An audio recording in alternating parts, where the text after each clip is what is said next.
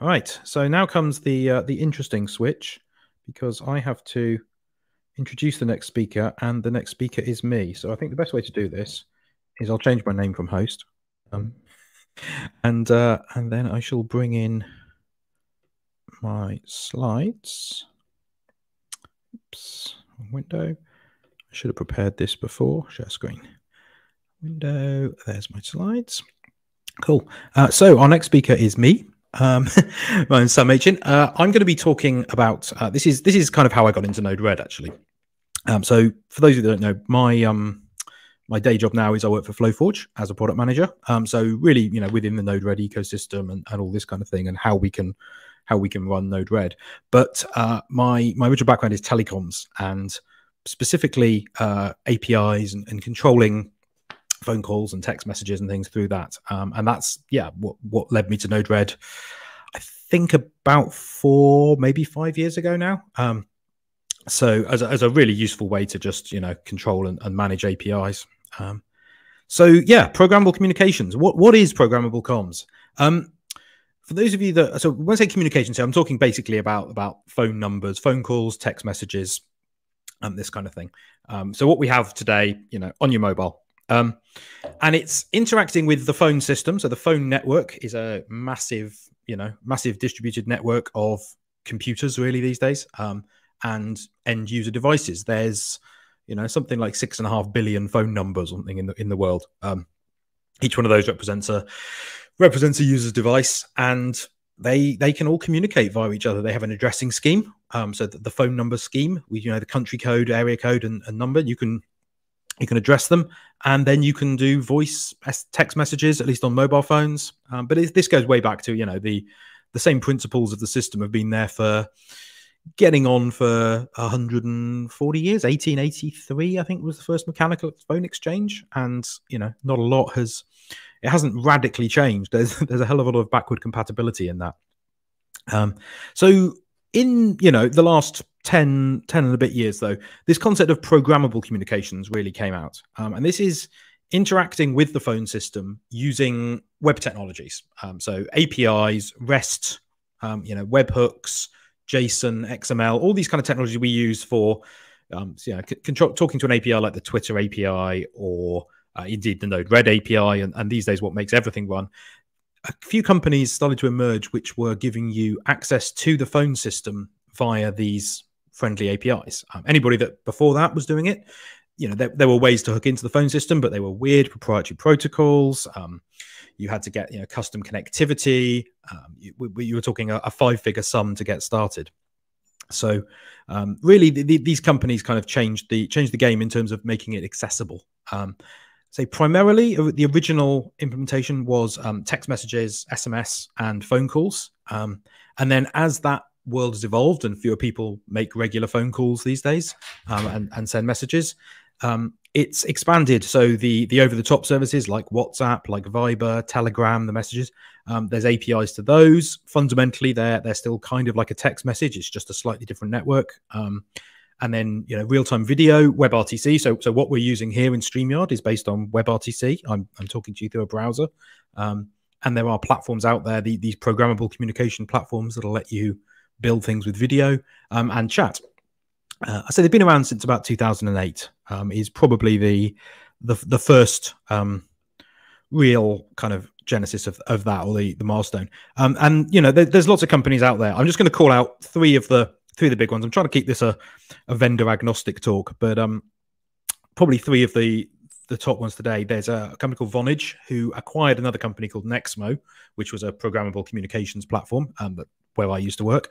Uh, so you see Nexmo Vonage used interchangeably sometimes. Uh, MessageBird, another one, uh, based in the Netherlands, and then Twilio, um, which probably most people have, if, if, they've done anything in this space, will have at least heard of Twilio. Um, they, I think, really may opened the created the market. So they were sort of 2008, I believe, was the early days of them, and and this idea of hey, we've got an API to the phone system.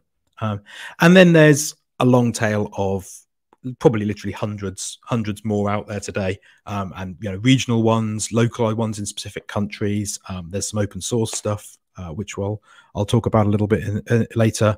Um, and you know there, there's hundreds of different ways to to get an API connection into the phone system today. Um, so why is this interesting, relevant to Node-RED? Um, well, Node-RED is program, uh, visual programming for event-driven applications, as we now call it. Um, we used to say for the Internet of Things, and I used to have to then try and explain how telephony uh, was an Internet of Things type device in uh, in this sense, because a phone is just another thing connected to the internet. But it's event-driven, um, and communications is inherently event-driven. Uh, you you send a text message, that's an event. Um, you you you, you get a phone call, your phone rings, that's an event. Um, and what these providers do is turn these uh, events in, or these in, these communications events into webhooks, which means you can then consume them as events in Node-RED and do what you want with them. Um, so how, how does this work? Well, typically um, a te text message, simplest. So when a user sends a text message to one of your programmable numbers. So in this instance, we get new phone numbers um, for our applications. And from my phone, I send a, a, text message to a number which is linked to my application. That makes an HTTP request to the app. Um, and that contains that HTTP post will will contain the body of the message. It'll say, this is the text message that, who sent it. This is the number they sent it to. This is what the message says. Um, so you've just got a, a little bit of input. Um, and then you can just you can just act that back and say, you know, 200 okay, um, and do something with that message in your in your flow, or you can choose to reply to it. So either, depending on the platform, you can reply to the HTTP request with a correctly formatted body that will be sent back as a new text message to the person that sent it, like a reply, or you you make a new request. Um, so that can be something as simple as I think you know food trucks and things will will do a what's our daily specials. So you text a specials or you, you text something like you know a word to a number and it replies back with the the special taco of the day or or whatever that kind of thing is. Um, so really simple little services but actually really useful for businesses. Um, phone calls again they work in a similar way. Um, incoming call makes a request um, and you decide how to proceed. So a little bit more complex phone calls but we'll uh, we'll come on to that because there's not more you can do to it. Um, this is something so so to explain one of the one of the things that people have uh, sometimes get get a little bit confused with. So I'm just finding my slides. Um, a little bit confused with in terms of programmable communications. Um, so we all understand the idea of sending a text message from my phone to your phone, from a person to person. Um, you know, each phone has a number, but these th in in programmable communications we talk about person to application or application to person because it's a separate flow. You are interacting from the point of view of the phone call or the point of view of the text message. You're interacting with a service. So I'm sending the message from from my phone as the user here to the number of the application, or the application is sending the message to me. Now, I suspect everybody has has had some interaction with this because all of those package delivery notifications. Your parcel will be delivered between nine and twelve tomorrow. Your, you know, your driver is on the way. Um, these are application to person type messages. Um, so these are the, the two main models in programmable communications of person to app. Somebody sends something in, app to person, and it may come out. What we don't have control of is you don't have programmable control of person to person messages. So I can't sort of hook an app in that says when anybody sends a text message to my mobile number, I want to do something with it. Um, however, there is a, a way to create these person to person to person kind of exchanges where you send it into the application and the application forwards it on. Um, again, a very common use of this is things like the the ride sharing driver. So if you're you're talking to your Uber driver and you call a number that's um yeah you, you and you talk to your Uber driver, what you're the number you're calling is an application number, and what that number is doing is looking up in the system who the driver that's currently assigned to pick you up is based on the, the caller ID and connecting you to the right the right driver. But it hides the number of both you as the caller so the driver doesn't see your number and you don't see the driver's number. And it's it's part of the ride sharing kind of staying in the in the loop uh, making sure that you know protects privacy but also protects their business model because you can't cut the platform out and just sort of phone the driver directly and pay cash. Um, so you know that, it's kind of a concept that's important to uh, to remember in this Um, so this uh, this example flow here, this is a simple simple way of handling an SMS. Um, hopefully you can just about see that, but I've got a screenshot here. My iPhone just sending a, a hello world text message to a number um, and a simple Node-RED flow just using the core nodes where we, we've got an incoming webhook on, on get slash SMS and what's in the payload of that message. We're just logging it out here, but um, we've got the the object which contains this this funny thing here, MSISDN, which is telco speak for the phone number of the person that sent it to you. So that's my mobile number. Hence, I've, I've blurred the last bit out. Uh, the number it's two, so really that should be considered the from the first one. Uh, the two, that's the number I sent it to. Uh, an ID, um, the text of the message, uh, the type of message it was text, a timestamp, and a few other sort of internal things, the account it was it was sent on and stuff. So handling a text message in Node-RED is is kind of that easy. Um, all you you really need to also do um, is you'll need to configure the number. So going to the provider's platform, um, buying, renting a number. So they're typically it depends on the country. In the UK, I think they're about a dollar a month. Um, you get your phone number, you pick a new number, um, and you set up your webhook URL. Where where should messages be sent? Hit save. Away you go. Any messages sent to that number will go to uh, go to your to your application. Cool. Okay. So moving on, as you said, to phone calls um, and and the like. For those that maybe aren't, aren't from the UK, that's that's the original kind of what what phones looked like when I was a child, at least back in the in the 80s and things. This was the standard phone that uh, that British Telecom gave every household with the old rotary dial. Um, but a lot of this would still work with one of those rotary dial phones today.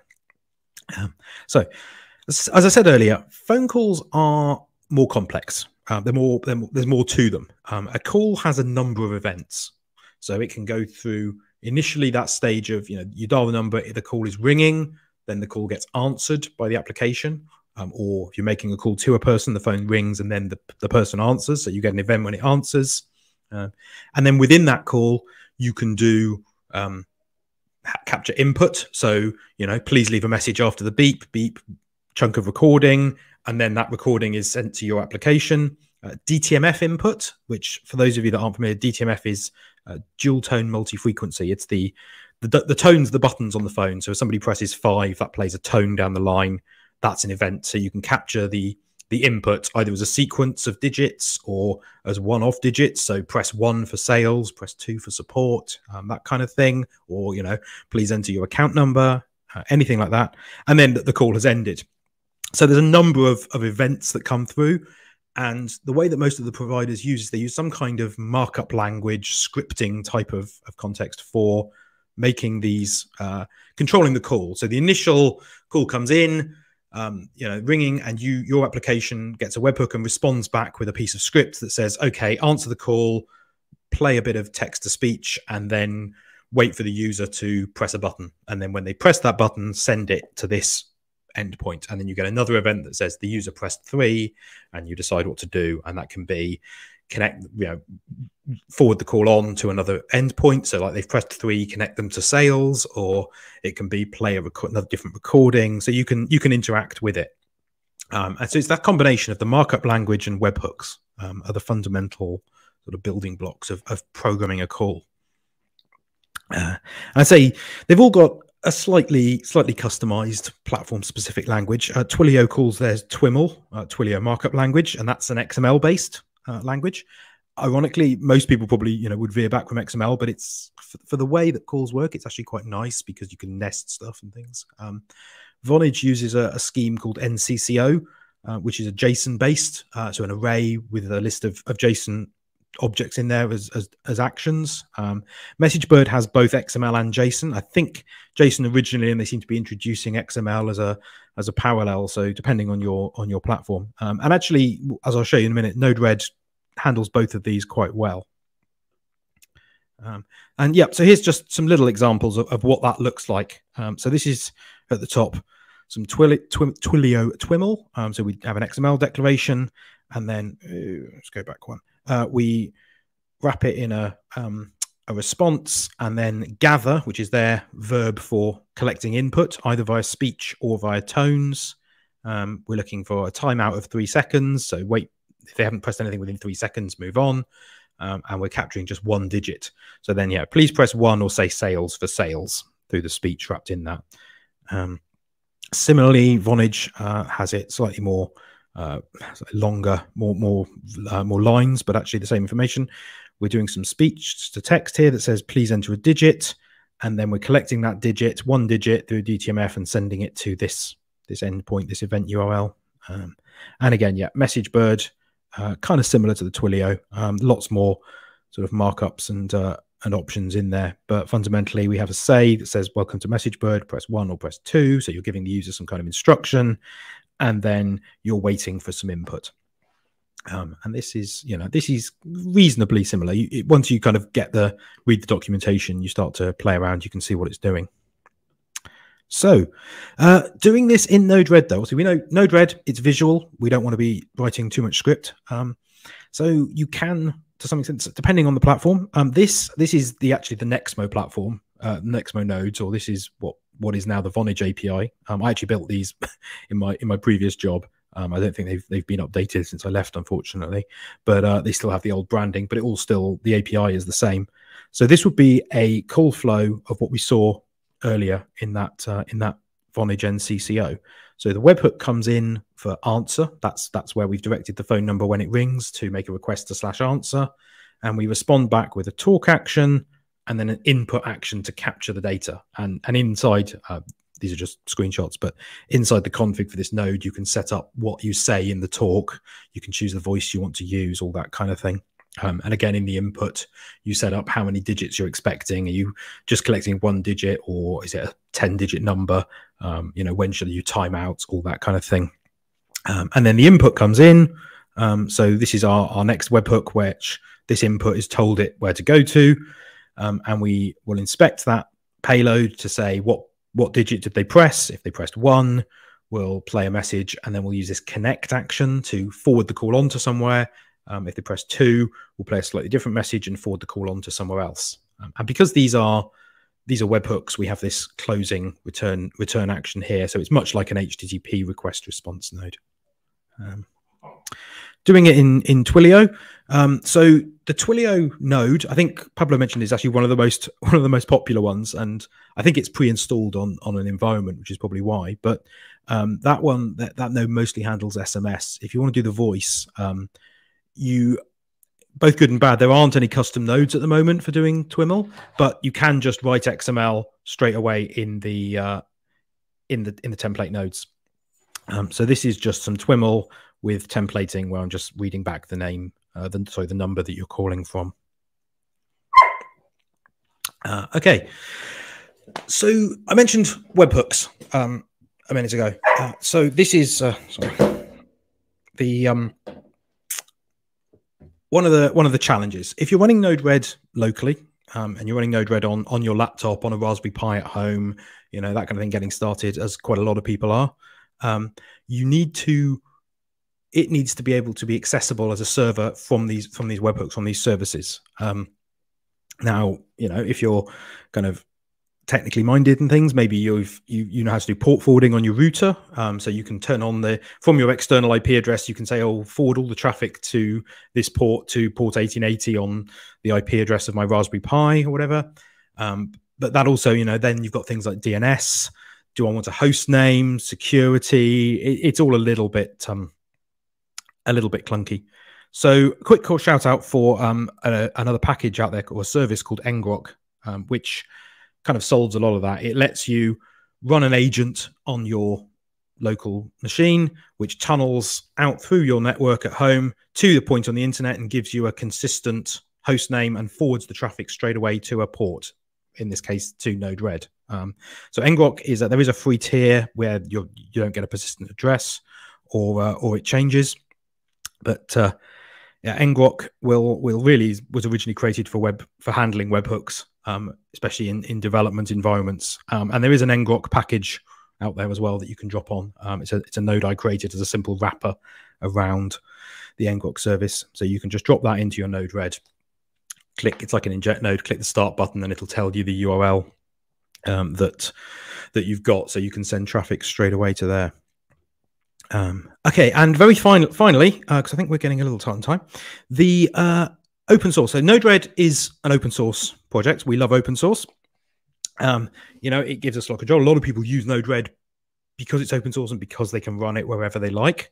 Um, and you might be sort of concerned around using proprietary commercial third-party services for the phone calls, which you can't then sort of control uh, control what comes from.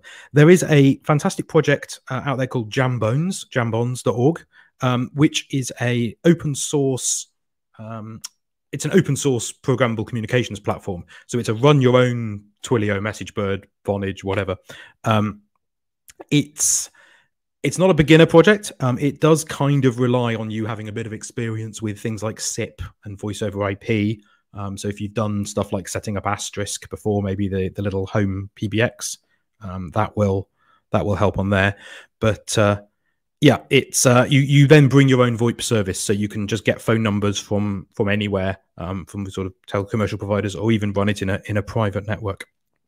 But uh, cool. So there we are. Um, I can see Nick's now joined, so I'm hoping Nick might be. Hey Nick, have you come to do the questions? so I thought it, it, would only be fair for me for to give you a hand rather than you have to. Um, although do the double. yeah. Um, so let me just have a scan through. Uh, yes, I was just questions. looking. Uh, I, I, the one that has jumped out was, um, "Do I hear a dog?" yes, surprisingly, he's been really good all day, and then he's just woken up and and is scratching at the door to the office because he's not been shut out. So awesome. Um, um, so yeah, um, there've been a few fairly general questions come through. Um, let me just just proofreading them before I show them. Yeah. um, okay. Uh, this this one's coming, which I, I guess is a little tangential. Yeah. Um, but, but yeah, as as we're both here. um, so, what's the Node roadmap for large scale requests? Event driven app will be able to deal with massive requests, for example, thousand devices requesting at the same time. Well, so um, it depends on the request. I mean, I, I guess when you even look at the sort of the telecom stuff, you've got to think about what's the actual size of the requests you're dealing with. Mm-hmm. Are you dealing with a large scale of tiny messages, a large scale of big messages? Um, and and what are you doing with those messages? The amount of the amount of processing you do on it is is often yeah. the the deciding factor. Yeah, absolutely, absolutely. So, yeah, I think the, the Node-RED answer has always been that uh, you you kind of you need to scale your your environment to handle the sorts of workloads you care about, as you would any application, any Node.js application. Um, you know, be able to do put multiple Node-RED instances behind a load balancer if you're dealing with HTTP. Um, yeah, again, it, it, depends on so many variables, but I don't think there's anything inherent in Node-RED that's different to a normal application architecture for how you would choose to scale it. Um, and again, there's always going to be a limit as to what an individual Node-RED instance can do to to help address that. But um, you know, it, it's the type of thing we we are looking at in a bigger picture, um, more you know, thinking about how do you take Node-RED from you know, a single instance app to something you want to scale much more broadly, um, and whether whether there's more that can be done in the core of Node-RED to help that. I was at NodeConf EU, uh, Node.js conference this week, and there were some really interesting talks around um, performance and uh, optimizations and that type of stuff. And it, it's sparked some ideas in my head of some some areas of performance we can improve. Um, yeah, and I thought, I mean, I've yeah. some of the stuff I've been playing with has been with um with doing voice through Node-RED. So some, some walkie talkies and, and even some stuff with Alexa. If I say it very carefully, it won't trigger. Um, but actually, you know, and, and you've got audio streams coming through. So 20 millisecond uh, frames of audio into Node-RED and just just really routing them, not doing a massive amount of processing. But if you've got 50 messages a second um, from a, from an endpoint, it still amazes me that it's uh, it's quite comfortable with that, as long as I'm just sort of sending them from one point to another. Um, yes, awesome. Cool. Well, I'm going to drop out as I can Oh, see our next yes. speaker is in the waiting Oh, room. and I, I should go. Yep, you go and sort them. We've got a we've got another quick break, so uh, I think we're back at uh,